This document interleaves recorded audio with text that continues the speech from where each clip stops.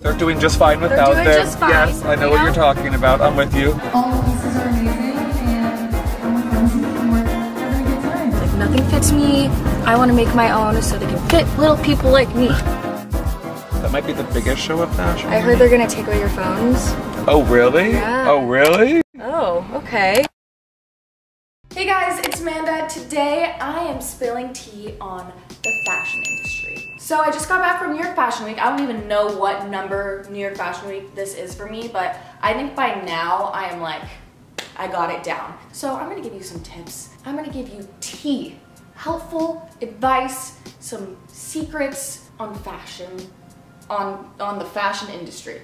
So I've learned that you don't have to attend every single event, every single show. I've learned to attend the events and the shows that really are meaningful to you. That way your schedule is filled with things that you're excited about and not kind of like, oh, I need to be at this place, I need to be at this place. And then if you miss one place, you're like, why wasn't I at that one? And you're just happier to be there, you're more relaxed, and like you're going to the events that you're really excited about. It means more to the brands and the maybe magazines or whoever is hosting the event that you made the time to come to their event instead of their event just being one of the million you're at. The events that I really, really liked this fashion week were the Teen Vogue and Snapchat and then the Slash Fashion um, YouTube event. That's crazy to think that New York Fashion Week YouTube and Snapchat parties were my favorite, but I guess it makes sense. Those were so important to me to go to because I met the people that I should be meeting. So at like the Teen Vogue Snapchat party, I got to meet up with a bunch of other YouTubers and kind of influencers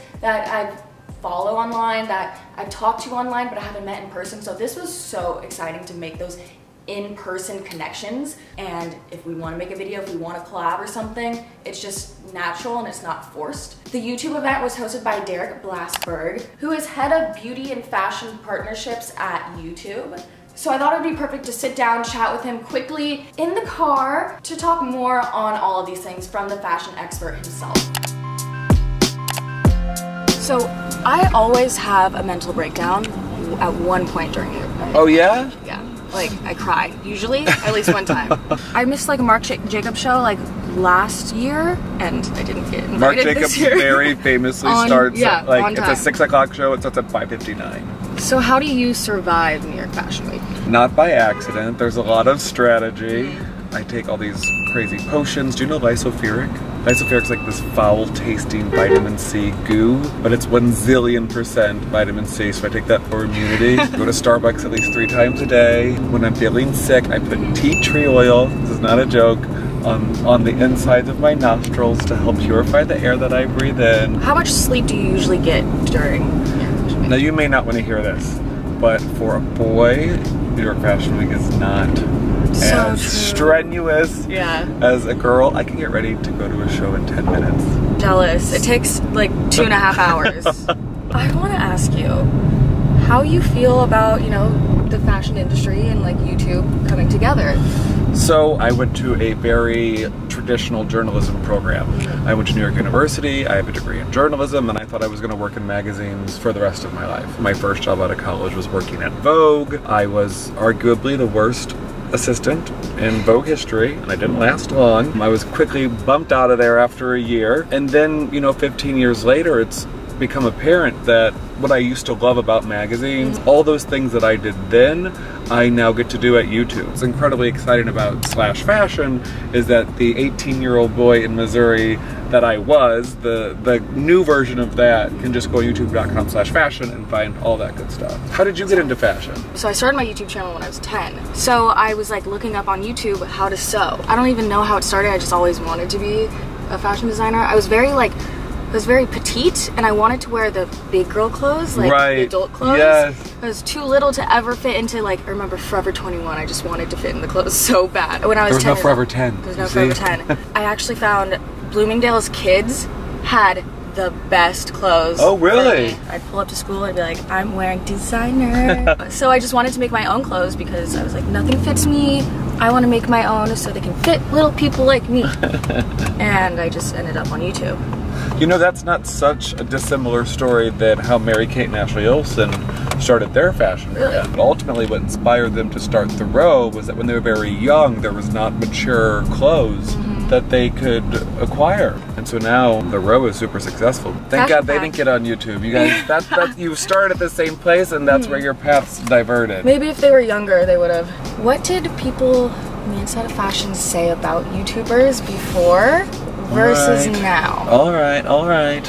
You're not wrong to think that fashion is often an industry that's a little slow to warm up to advances in technology. They were slow to social media. But now it's an undeniable fact that YouTube has one of the biggest influences on fashion. I know so many fashion people that are desperate to become YouTubers mm-hmm. that I think this this sort of gulf that used to exist between the YouTube universe and the fashion world is getting like smaller and smaller and smaller and smaller. I'm sitting here with you. Love this. You're going to Marc Jacobs shows. I'm going to YouTube creator summits. Fashion Week has, has definitely found a place on YouTube. The fashion people, the models, the supermodels that really don't need to have YouTube channels for their success. They're doing just fine without doing them. just fine, yes, I know you what you're talking about. I'm with you. I know a lot of models who started their channels and they all have sort of different reasons. So, Alexa Chung, she was excited to start a YouTube channel because she wanted to sort of control her own style narrative on YouTube. Okay. So, on YouTube, there's a zillion sort of Alexa Chung tribute Mm-hmm. videos, and she's like, I can do this. So, she was appealed to sort of telling her own story to this huge audience. Naomi Campbell's another person who started her channel. So Naomi started her channel because she also wanted to control her own narrative. Mm-hmm. So we know the sort of public-facing Naomi, which was sort of a 90s supermodel plagued by scandals. It's like the Naomi I know and the Naomi that Naomi is happy to put on YouTube is actually a girl who wears rubber gloves to clean her airplane seats, goes to Whole Foods to look for vegan marshmallows. A lot of times models aren't necessarily in the driver's seat.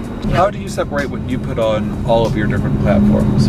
YouTube videos take lots of work for us. We plan them out, schedule them, we have ideas, and we walk through every process. Instagram, I think it's just like moments. Got you it. know? And that's something that I've had to help reinforce to my friends in the fashion world that YouTube is not easy. YouTube is Yeah. hard. You have to have a quiet room. You have to have someone who knows how to edit.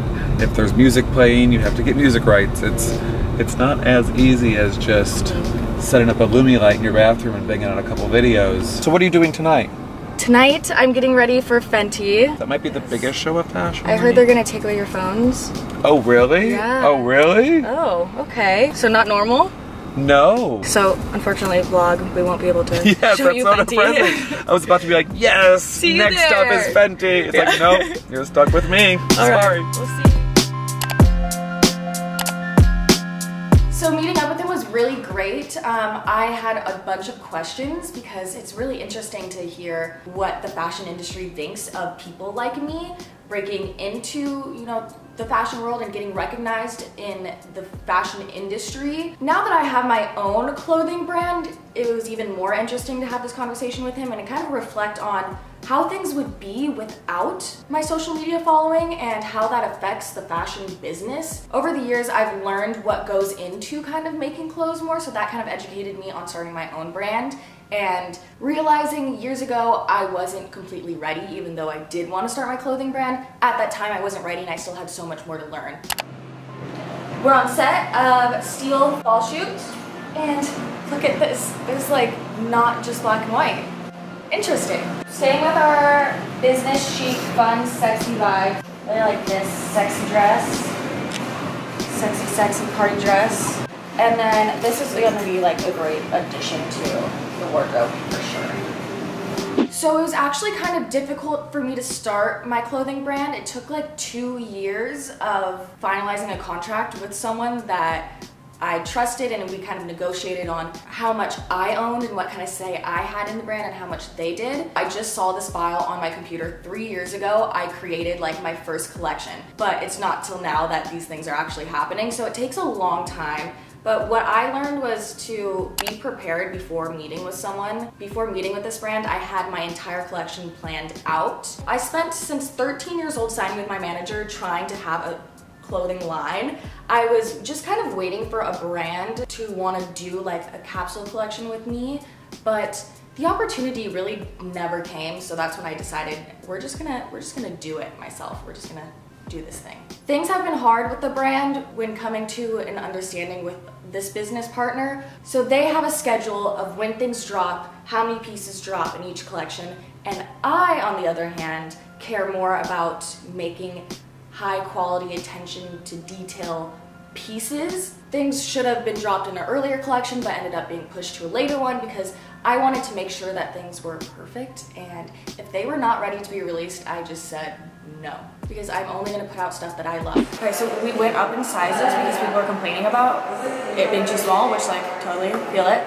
So we added extra, extra small and then we like made like the extra small and all the other sizes bigger. But it has been so amazing to see my designs come to life and like my style become a brand. I'm wearing my Steele sweater right now. I'm obsessed with it. Seeing girls buying the clothes and wearing them and just seeing how they pose and they take their photos, like nothing can compare. That like my vision and the things that I think are cute little details that I make to my pieces being worn by these girls and seeing their confidence come through while wearing them is just so rewarding and I'm just like this is why we do it. If you guys want to get into the fashion industry whether it's designing your own brand or you know, working for media. It's really important to be yourself and commit to your decisions. What's gonna get recognition and success is someone that knows what they want, knows what they like, are open to other ideas but have their own and they're strong on it. Social media is a good way to get into it by just following people in the industry, kind of see how they work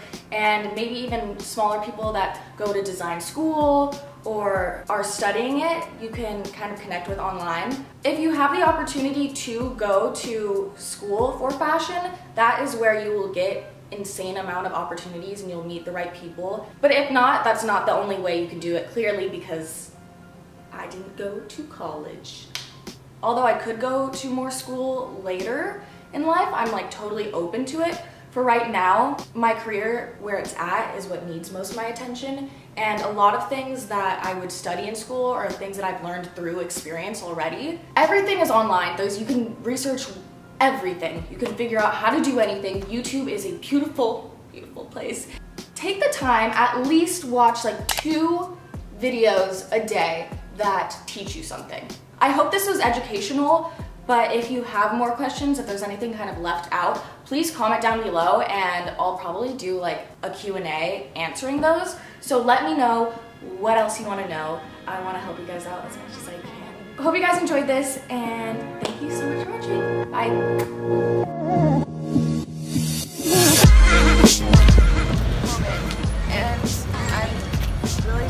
and now the top doesn't fit me very